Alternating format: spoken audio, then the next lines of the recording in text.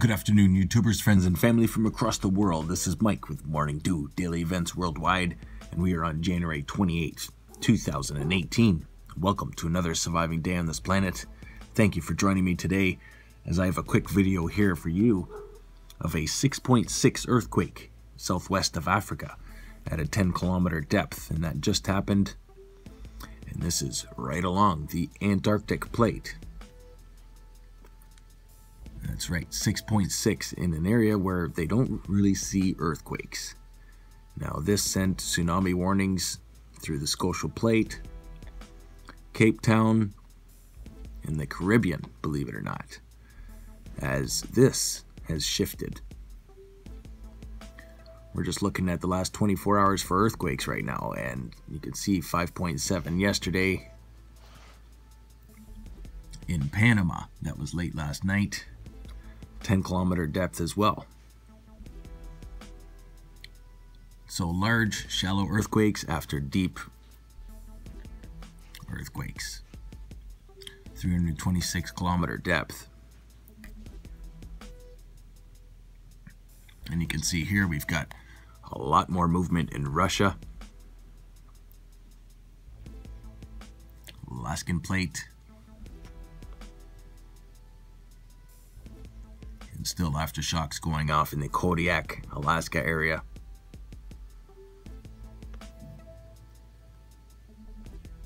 So lots to talk about for earthquakes. Um, you know, at this 6.6 is a pretty large noted earthquake here along the Atlantic, the Antarctic plate. We'll have to see what's going on for weather around there.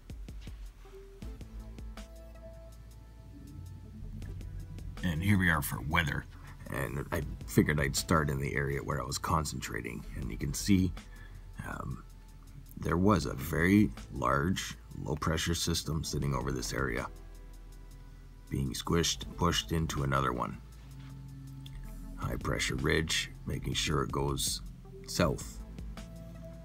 But all these storms are becoming more organized and larger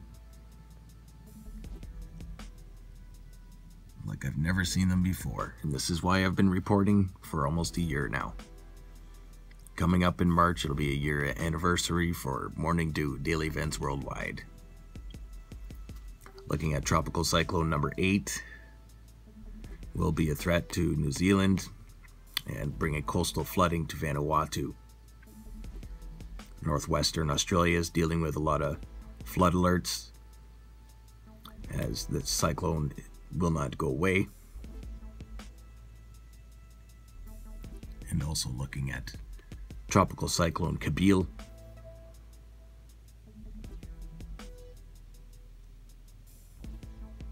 And Africa needs rain. There was a warning put out the other day for Cape Town. Uh, they're desperately seeking a solution to their freshwater problem. That's right. They're actually saying by April 21st, they're going to be shutting the water off in Cape Town and limiting everybody to about four liters of water a day. Something like that. But uh, this is becoming a serious problem as they're dealing with droughts and extreme temperatures throughout this area. South America will be getting some pretty nasty hailstorms and thunderstorms coming soon. And of course, over North America, we're getting the cold temps all the way down into Texas again as this polar vortex is sneaking back in.